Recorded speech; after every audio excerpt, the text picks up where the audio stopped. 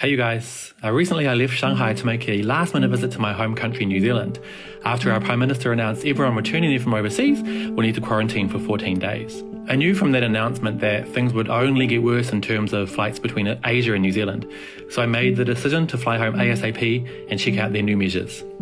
Because direct flights between China and New Zealand were stopped weeks ago, and because most countries and regions I could transit through wouldn't allow me to enter because of having been in mainland China, I was forced to transit through Japan's Narita Airport in Tokyo.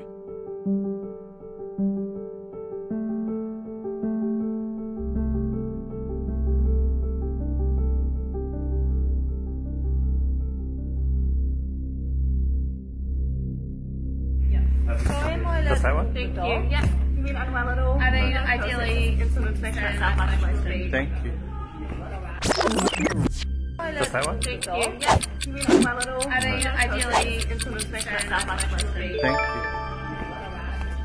They didn't care that I'd just come from China and I was allowed into my home country. I kept my mask on and flew south to a small town called Blenheim, where I would stay in isolation in my dad's house.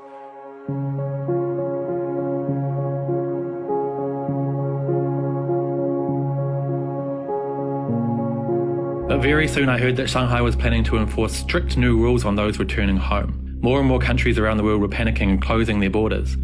I feared being stuck in New Zealand, so I changed my flight back and left again the next day. I only spent one night in New Zealand with my dad, but I'm happy to say he was protected the whole time, and it was good to see him all the same. I left him 50 masks and several bottles of hand sanitizer, which were all sold out in New Zealand, and then got back on an Air New Zealand flight to Tokyo. In New Zealand, people are still not wearing masks or other protection in public, including the crew on my 11 hour flight. Soon, those crew members will head back to New Zealand, where they're not required to enter quarantine at all. I got on my flight to Shanghai with Spring Airlines in Tokyo, and it was a completely different picture. The crew wore full protection, and every single person on the flight had at least a mask on. When I arrived in Shanghai, I experienced the measures being taken to stem the flow of COVID 19 back into China. 哦，我知道，对，啊，所以我还我知道这个是吧？ I was asked multiple questions, had my temperature taken several times, and was soon allowed to find my way to a counter for the district I live in. From there, they took about 12 of us, Chinese and foreigners, to a testing facility in our district. We slept in the bus outside the clinic for eight hours waiting for our turn. Once we finally got inside, the sun was already high in the sky. We were tested one by one for novel coronavirus, which is through a swab of the throat. From there, most of our group were sent to hotels, but myself and two others were made to stay behind and share a room in the clinic. We were told we needed to stay in the clinic for 8 to 12 hours as we waited for our test results. It became a long day cooped up in our room. All three of us in this room are, are negative, just normal results, which is really good. I'm so excited.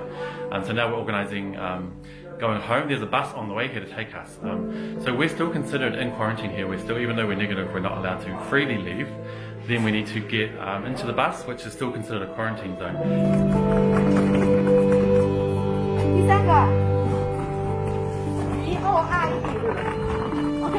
好，谢谢，拜拜。你们很厉害，辛苦了。哦，只有我们三个人吧？ 哦，还没有接。啊，好的。In the bus.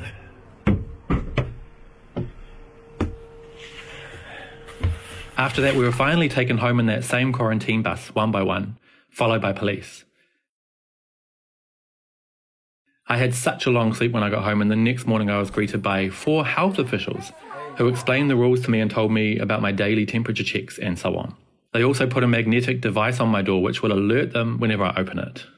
I'm ready for my two week quarantine and was thoroughly impressed with Shanghai's strict and thorough measures that I've now experienced firsthand. It was a tiring and challenging 24 hours, but I've been left in awe at China's efforts to contain COVID 19. And thinking of those nurses and drivers and police officers and volunteers on the front line now has a new meaning for me.